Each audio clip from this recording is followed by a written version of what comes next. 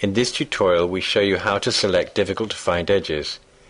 This image is part of a glass bead necklace.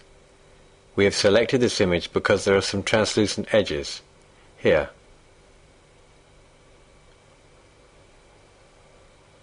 To see how Fluid Mask has dealt with these edges. You can see that it has found most edges near the base of the image, but not those at the top with the really transparent glass. To find these edges, we need to create a patch.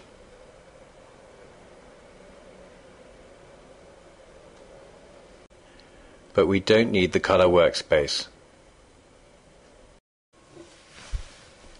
We are going to work on the Edge Finding tab in Patch Properties. Select Analyze Patch separately at the top there See now only the edge lines appear in the patch and not in the image.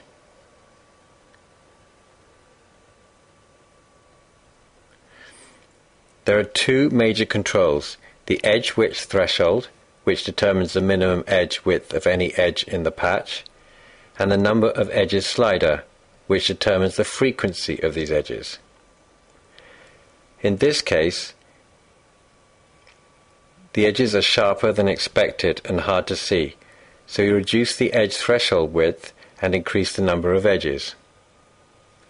See, we have found all the edges we need and can now mask around the object.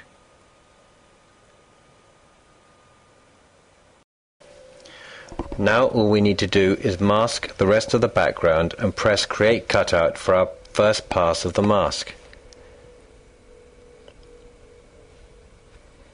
And see, we're nearly there. All we need to do now is to tidy up these corners, and for that I'll use the exact delete brush.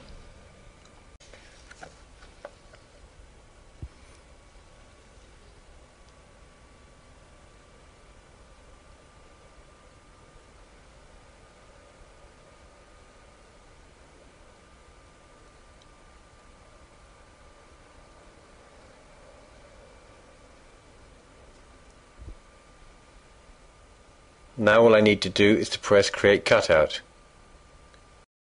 I hope you get to download the 30 day trial and play with Fluid Mask. Thanks for watching.